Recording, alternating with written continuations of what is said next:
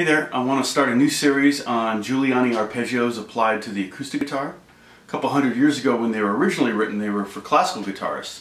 Um, but I find that they're really good exercises for anyone who wants to develop their right hand technique.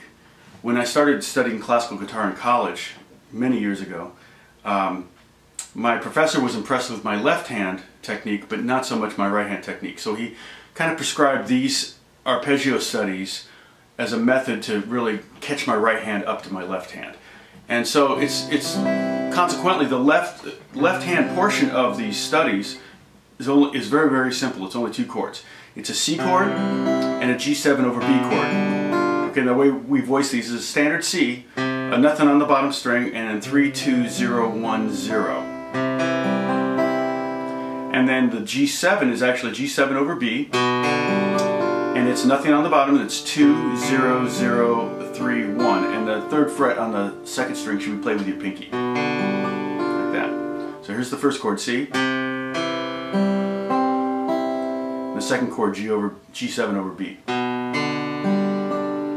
Now the very first study is a very simple one where you're just playing the top two strings with your first and second finger and you're just going to play them on the quarter notes.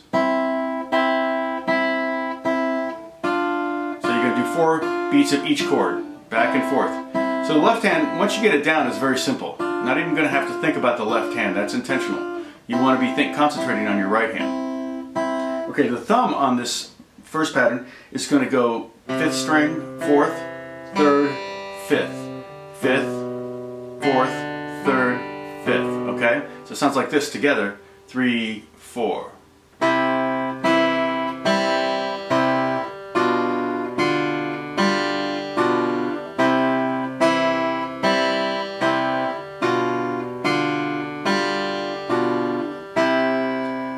Quite simple. Now, if you want to make it a little bit more complex and develop your your technique and skills all the more, what I would recommend is to, to accent different beats. So for example, you could accent the first beat and it would sound like this. Or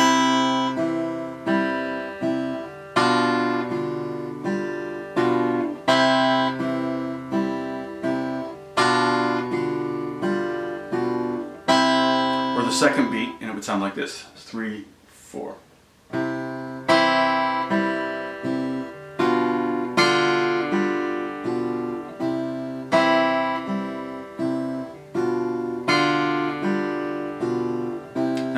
Kind of exaggerating these a little bit, um, but the idea is to be able to develop more dynamic skills in your right hand as well. Okay, so that's just the first one. I'm going to do another video, I'm going to do a whole series of videos on these, and I'm just going to kind of cherry pick some of my favorite patterns.